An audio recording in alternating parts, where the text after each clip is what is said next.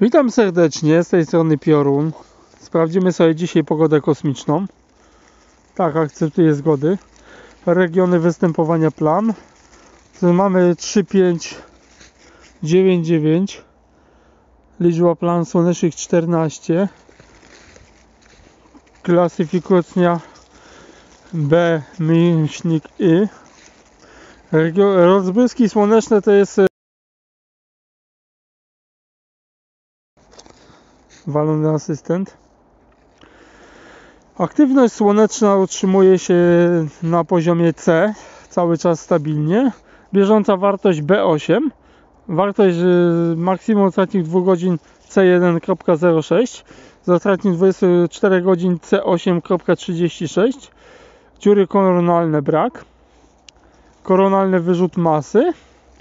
Protony mamy na stałym poziomie 1 więc jest wszystko dobrze, ale sobie zobaczymy jak tam wygląda sytuacja.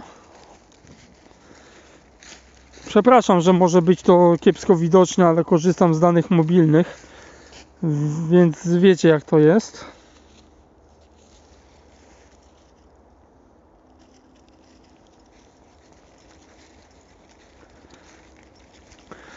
I tu znów powtórzę swoją e, wow, ale eksplozje piękne.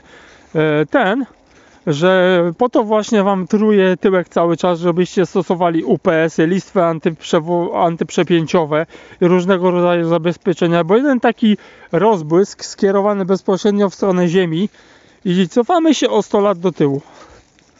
Wam może się wydarzać, że pierdzielę głupoty, ale to jest faktem. To jest naukowym faktem. Ech. O.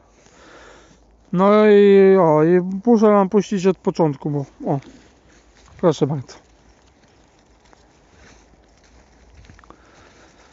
Jeden taki wybuch bezpośrednio skierowany w stronę Ziemi i cofamy się o 100 lat. Technicznie. Jeżeli mi nie wierzycie, możecie poczytać. Wpływ burz geomagnetycznych na elektronikę i elektrykę. Wyskoczy Wam mnóstwo opracowań. No. No dobra, tu sobie obejrzeliśmy, czyli jest wszystko gładko i pięknie. Aktywność zorzowa. Gdzie my dzisiaj mamy zorze polarne? KP2 minus. Mhm. Jak tam występowanie? O, o, o, o, powiem Wam szczerze, Powiem Wam szczerze, nad y, Polską będzie widoczna zorza.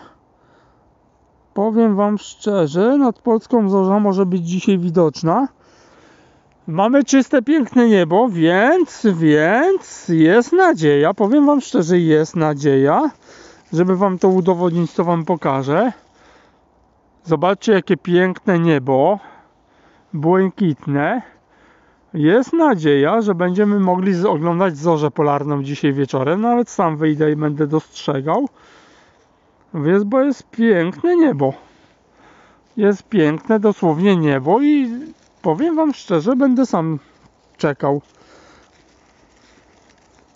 No dobra, trzymajcie się i pozdrawiam. Piorun Burza Elektryk, naczelny inżynier w tej miejscowości.